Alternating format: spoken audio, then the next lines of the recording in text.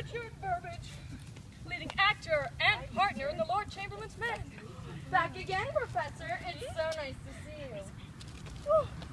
And who is this charming young man? Hello, I'm Haley. Oh, she speaks. Oh, speak again, bright angel. Oh my.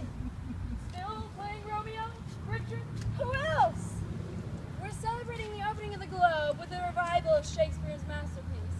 You must see the place.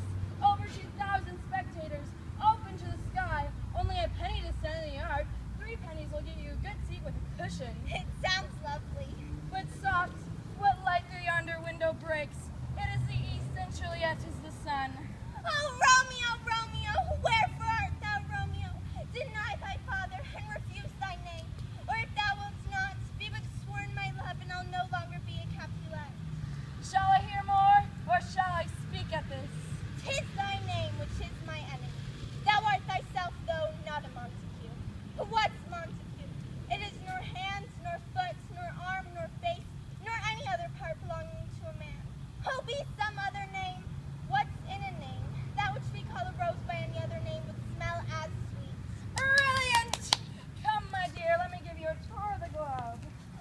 I compare thee to a summer's day?